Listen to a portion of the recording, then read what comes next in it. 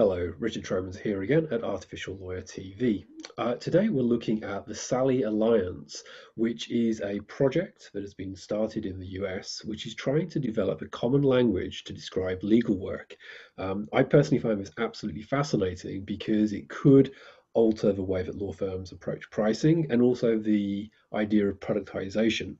Uh, with us uh, is Kelly Harbour, who um, helps out uh, with SALI, but also works at a US law firm. Hi, Kelly. Thanks for joining us. Sure. Thanks for having me, Richard. Uh, first of all, just very briefly, could you just tell the audience just a little bit about what you do, and then if you could just explain what is SALI?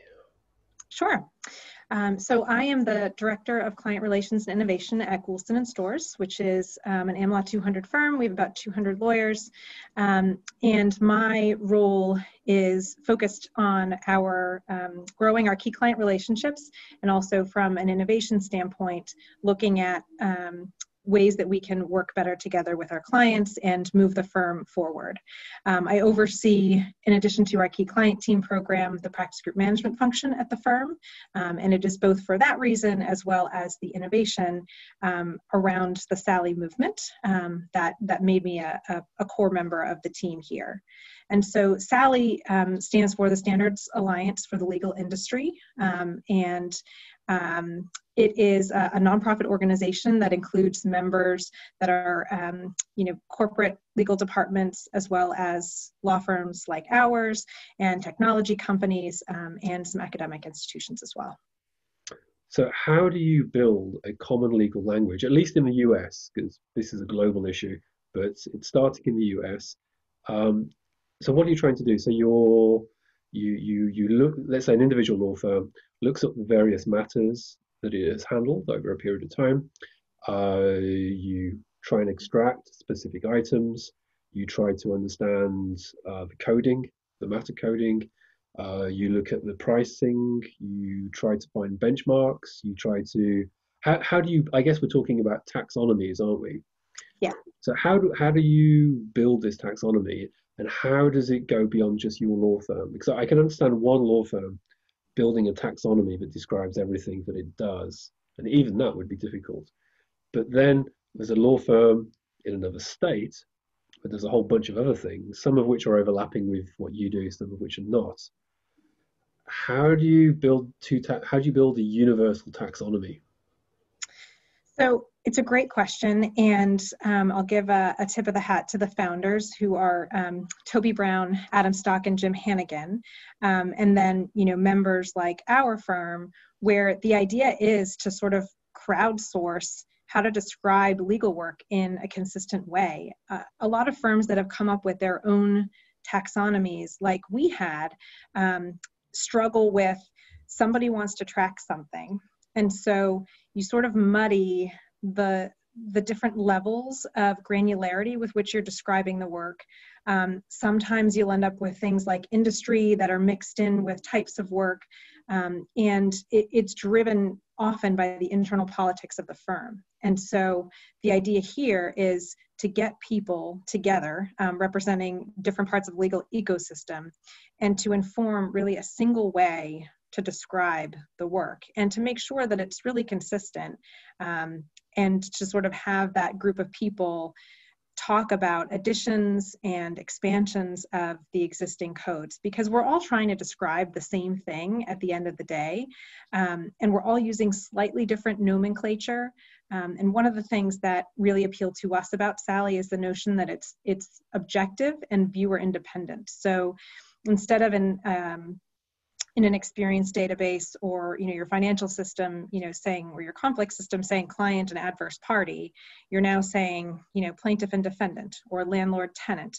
So that you know you, you can have a better understanding of the way this matter is unfolding um, in addition to exactly what the work is that takes off the table the internal politics of which organizational unit, which most for most firms is a practice area, does the opening attorney reside in? Because that's often where some of the political conversations um, come into play and make it harder for firms to really get their arms around the makeup of the work that they're doing. I see. So you, what you're saying is, is that different partners or different practice groups will uh, code things differently, will see a job in a different way. So Yes. someone sees a review task and says, well, this is a regulatory investigation. And another partner says, no, it's not. This is just really basic. This is just a standard document review project and it's not a big deal. And but they they're, they're it in a completely different way. That's right. That's right.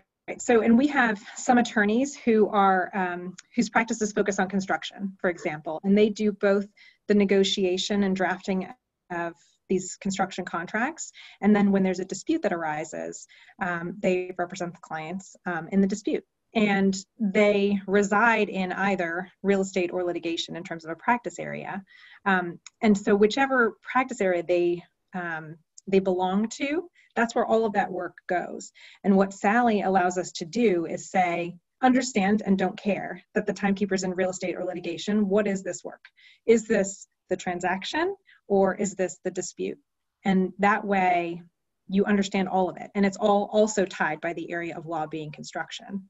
So you can look at all of your construction work and then you can parse out all of your disputes that include that as well as all of your transactions that include that. And, and so how granular do you get? So you would so so a matter comes up, client says, I have an issue with X, please help me. Okay, matter begins.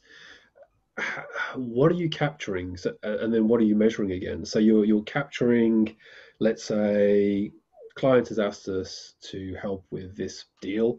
So negotiation, contract, bit of regulatory work, some filing, end of matter, storage, etc. Boom, done. Um, that so you're you're capturing that information and then you're giving it particular codes that are universal. Uh, are you also then adding in pricing information?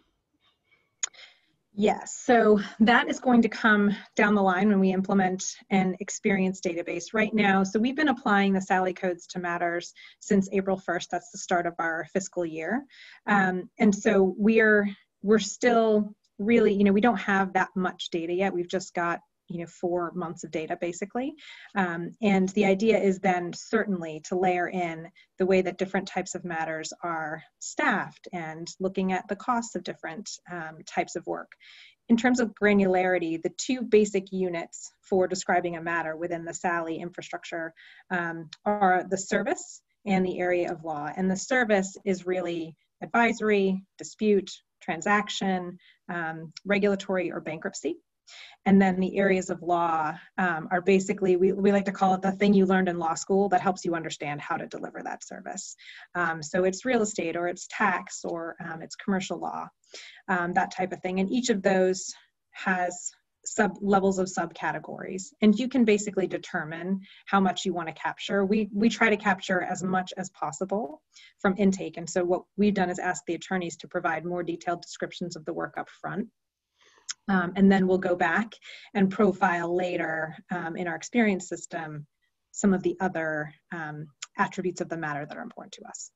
Gotcha. So, so the end goal, I imagine, is to have a universal, common taxonomy, at least within the US, because it will change obviously by country by country, major jurisdiction by major jurisdiction.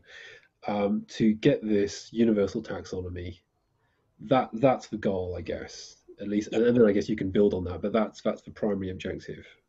Exactly. That's right. So that being said, right, I'll be I'll play devil's advocate because I obviously this is a very good thing, but let's pretend I'm not sure. Mm-hmm. Why would any law firm want to do this, and how does this benefit the clients?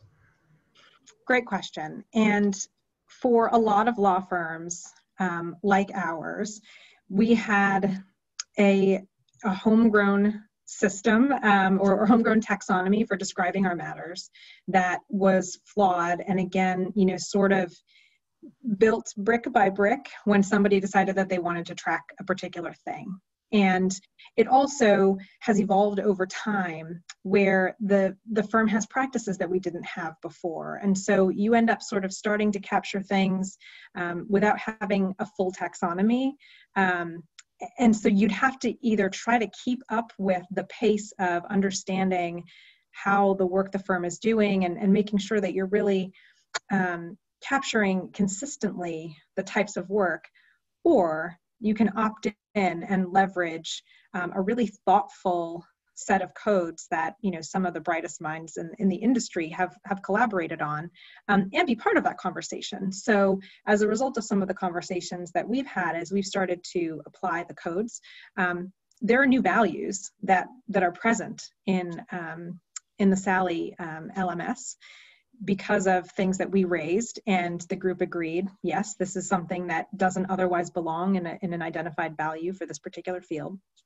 So we're going to add to it um, and i think the more people that you get um, contributing to that just the better the code set gets and you don't have to spend so much time internally you know with churn of creating um, a classification system you you know you have one that you know again has the benefit of uh, of these brilliant minds behind it. Absolutely. So, um, how far have you got? So, you, I mean, how many law firms and other legal service providers? Because uh, you don't have to be a law firm. It could be a, a process-focused legal sure. services business like Elevate or UnitedLex. It could be one of the big four, although probably not in the US at the moment. Although for, for some of the non uh, non-regulated work, it could be some of the big four. So you've got plenty of potential participants um, in this? I mean, very roughly, where are you now in terms of participants, and where would you like to get to?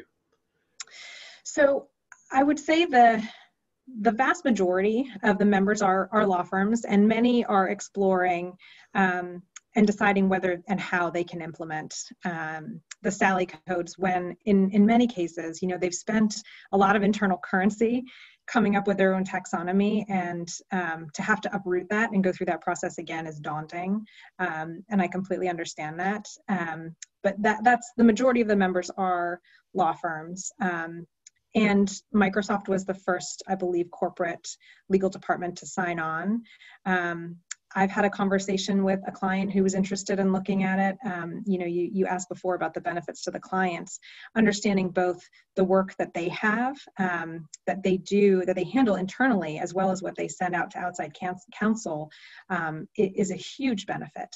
And the, the standard would really benefit from having their input as well. Um, just because a lot of things that they might do internally don't ever come over the wire to us and we want it to be as complete as possible. So i think there are a lot of clients especially in larger companies um, that have big legal operations and, and in-house counsel departments that are thinking about SALI. Um, and so hopefully you know that that's coming.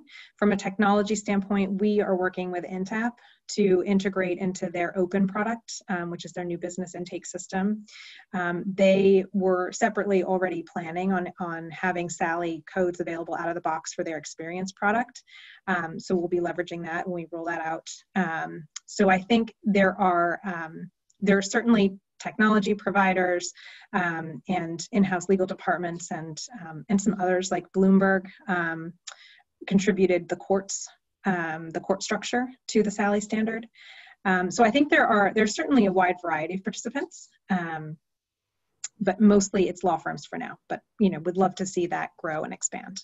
Uh, sounds fantastic. And just just for the listeners, just so they know, you're tech agnostic. You don't have a special relationship with any particular right. company, even if you're work, you're you're you know you, you're spreading your arms out for everybody. You know. Correct. And the tech um, and the, the API is is open and it's free. So um, you can go to the website and see the full um, code set. Um, you know, the the advantage of being a member, of course, is that you're contributing to the discourse around um, the actual values and fields and, and the like. Um, but looking at the codes and, and being able to download there, um, it's completely open source, and that has always been a goal. I'm guessing this will help with the development of fixed fees because if you've got standards, you're collecting data, um, it won't be a magical solution, but it, it should at least help, particularly the clients, to kind of nudge the law firms and say, look, we we know what you're trying to do. We know what the data is. Could you give us a fixed fee? I mean, presumably this will help. Yes. And because of the way that for our firm we were coding before, um, we had to really look at lists of matters to try to find like matters at a certain level of granularity. Um, and this standard will dramatically change and improve our ability to, number one, get our arms around like matters much faster and you know number two then to see what the associated costs were, um, and to be able to then deliver estimates more quickly, to deliver fixed fee pricing with more confidence, um, and you know a comfort level on both sides. And I guess, I mean, to to lawyers or managing partners watching this, they might think, why on earth do I want to go down that road? And I guess uh, the answer is, in a more competitive environment, uh, you want to move with the market rather than be at the back of the market. And if the market is moving in that direction, then using SALI is going to be a great ally to to that endeavor because it will provide you with the tools necessary to to generate um, this these fixed fees and, and, and other approaches. Yeah, I mean that's exactly right. I, I think if your if part of your strategy hinges upon a, certain level of um, bespoke taxonomy and, and sort of keeping things opaque from clients, um, I think you're in trouble. yeah, no, I'll, well, yeah, yeah, I'm going to agree with that one. Um, so, last of all, so thank you very much, um, Kelly. That's great. So, look, just to anyone listening who who doesn't know about SALI and would like to get involved, um, how can people get involved? What what what what should they do now if they want to participate? Sure. So I would encourage people to to go onto the website, which is sali.org, S-A-L-I, um, and you know feel free. There's there's contact information um, on the site, and um, and I'm happy to provide my contact information as well. Um, and uh, and we'd love it. We'd love for for the more the more the merrier, and the better the standard will be. Fantastic, Kelly. It's a great endeavor. Thank you very much for being on ALTV and uh, good luck with everything. Thank you. Thank you, Richard.